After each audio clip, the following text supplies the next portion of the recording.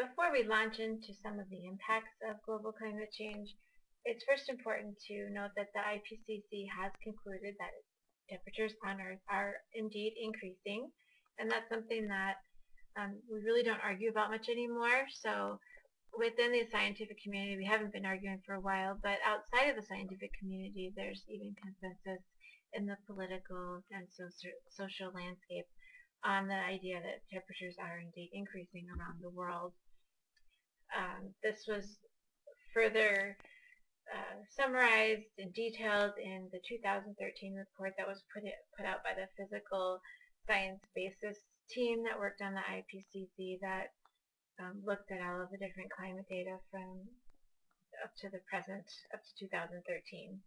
And you can access their full report at this link. Um, and you can also read the summary of their findings.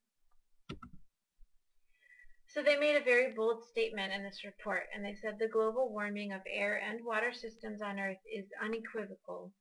And as you may know, scientists, we don't like to say things 100%. We're always kind of hedging our bets a little bit. But in this report, they did say it is unequivocal. We do not doubt that the, the air and water systems on Earth are warming. And um, they have so much data now to back that up that we really don't wonder if that's true or if there's if there's noise in the data. We are indeed seeing increases. So the last and and many of the increases that we're seeing are happening just over the last 100 years as we've seen a large increase in the burning of fossil fuels as we um, increased industrialization on Earth. So the last 30 years have been the warmest 30-year period on Earth and the last, uh, if you look over the last 1400 years. So these have been the, the warmest 30 years. And furthermore, each decade within the most recent 30 years has been warmer than the decade before it. And so if you look at the most recent decade, 2003 to 2012, that decade was warmer than the decade before it, before the decade of 93, 2002 and then that decade was warmer than the decade from 1983 to 92. So we are indeed seeing an upward trend and that upward trend is increasing at an ever increasing rate. So that slope is increasing over time. There are also less extreme or less record-breaking cold days and nights being reported across Earth, and there are more, are more extreme warm days and nights being reported. So we're breaking a lot more records in terms of warm or hot temperatures and many less records in terms of cold, cold snaps or cold days and nights, so record cold temperatures.